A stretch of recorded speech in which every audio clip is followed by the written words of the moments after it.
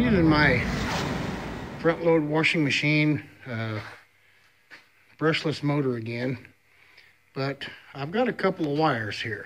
If you notice, a couple of pretty good sized copper wires across from each other, and then two real small ones.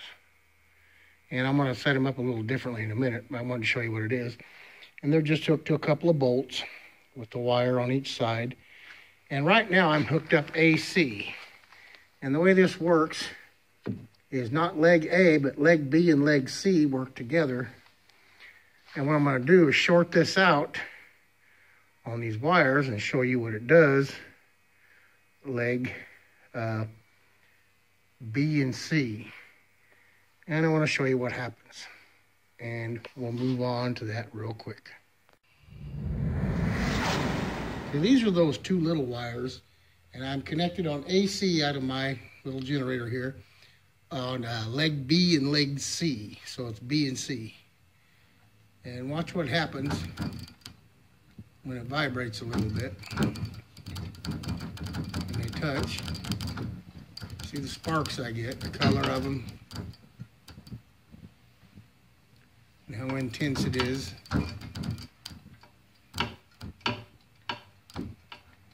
And when they hit, it really causes my uh, unit here, my generator to clang on the magnets. But just wanted you to see that. And that's legs B and C. One's pushing out, one's pulling back in, back and forth. One way, then the other. One way, then the other, back and forth. Faster I go, the more it grinds up.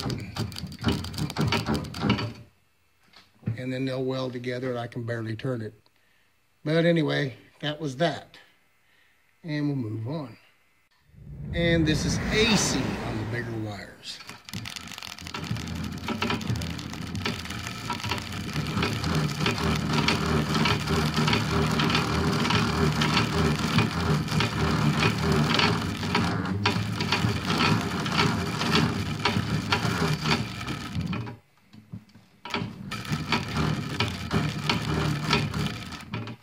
I slow down, it doesn't spark like it does on DC.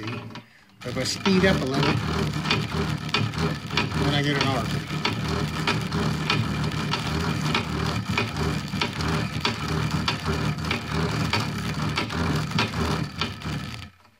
And that was AC on the big wires. And we'll move on. And I'm using the big wires on this, changing the AC up to A and C legs.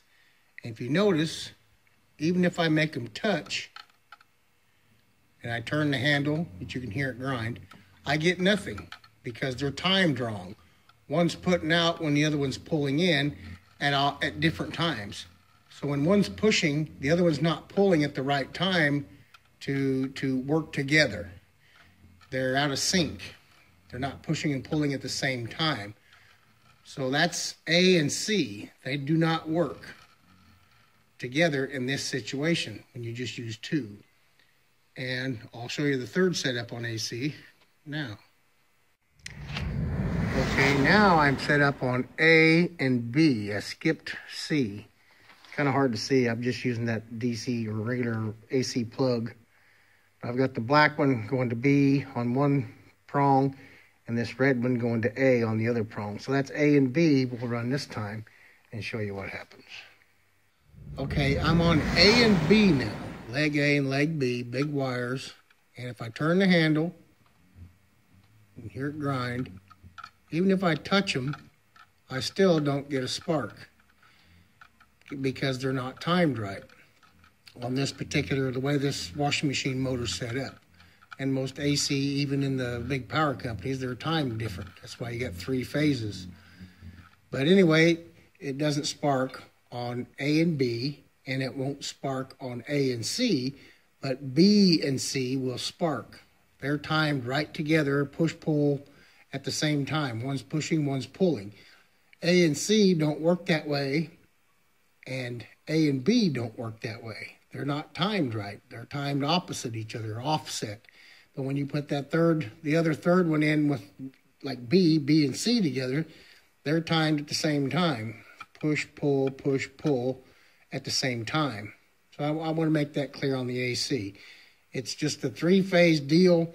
When one's pushing, one might be pulling, but you've only got two of them, and that's on this motor. But most AC generating stations are the same way. They're timed to where the only the two are actually pushing and pulling at the same time. That third one is what they call the bastard leg. It's off ball. It's off. And when you throw that third one in, like you can use B and C together either way, push or pull either way.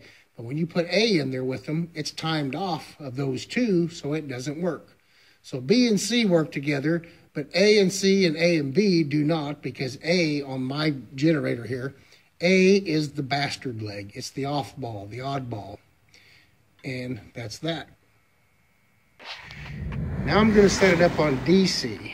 I've, you know, I've got my plug in here, my receptacle and my light switches, they're on the DC side where all the pushes go out this way and all the pulls come in this way.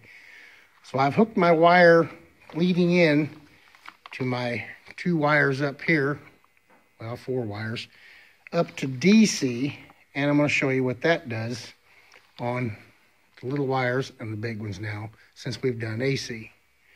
And we'll see what that does. These are those same two wires, but now I'm on DC.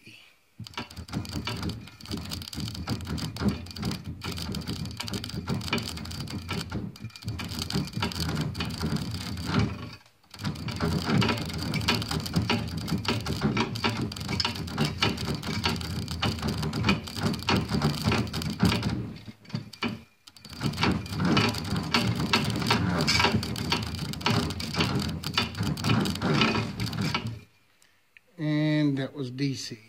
And we'll move on. Now here's the two bigger wires on DC.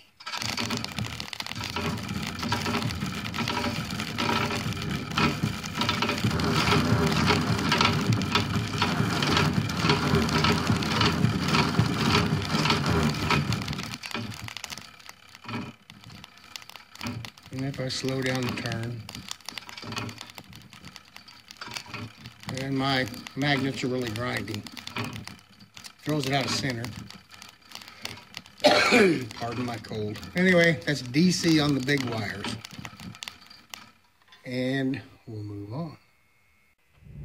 So in conclusion on this little deal I'm doing here with my uh, washing machine, there's 42 coils and there's they're divided into three, A, B, and C phases, which is 14 coils per phase and it alternates back and forth.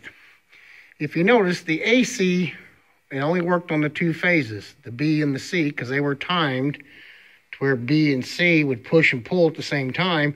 When another magnet was passing by the B coil, it, it didn't, or the A coil, it wouldn't work with it. So B and C are the only ones that actually push and pull at the same exact time. And A is offset from that. That's where your third one comes in, offset timing. But you notice how the arc, when I did hook it up with B and C, the arc was kind of erratic, sporadic, and it did what it needed to do. But when I hooked it up DC, it was more more steady, more going because all three outputs were getting pulled back. Each output had a had another one to come back to, so it was more consistent, more constant. Everyone pushing out had one to come back to, so it was just a loop. But you got that three of them, one, two, three, push and pull and push and pull, and wherever it could connect on DC. But on AC, you've only got the two, B and C, that actually work opposite each other. But I wanted to show you that, is how that worked with AC and DC on making some arcs. Thanks for watching.